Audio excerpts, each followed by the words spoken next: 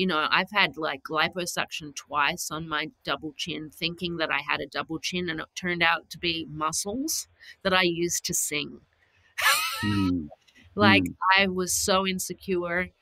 I had uh, liposuction on my stomach, and it went wrong, and it looks like someone threw a hammer into my into my guts, and and also that was the beginning of my chronic trauma, my chronic this chronic Mm. five year phase, the chronic illness, and because I harmed myself, I Yeah. harmed myself. That it's brutal if you see it, if you see it like on if you watch it on t- on a YouTube or whatever, what they do when they're sucking the fat out of your body, it's so brutal.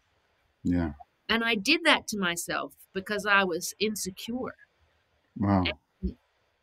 It's just, you know,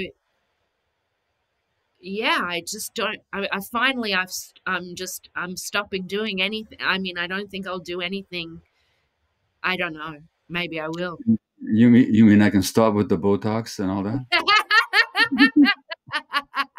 well, it's Uh, interesting. I was going to say about the Botox because you know when you talk about the smile in the eyes, Yeah. and I was like, I wonder if I've had because I had Botox, and I was like, I wonder if it's worn off, and I was Oh. like, whether I can, whether my smile is going to look like a, a a real smile or if it's going to look like a weird smile.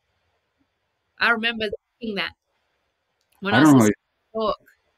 I don't know how you feel about this, but when I look at these Botox Hollywood faces, I'm just so turned off. Yeah. I want to. I want to see a real person. yeah. I, I I, I want to see. Sorry? I'm with you, but I just am insecure, and so I think that's what I'm supposed to do, right? I think Yeah. that's what I'm supposed to be.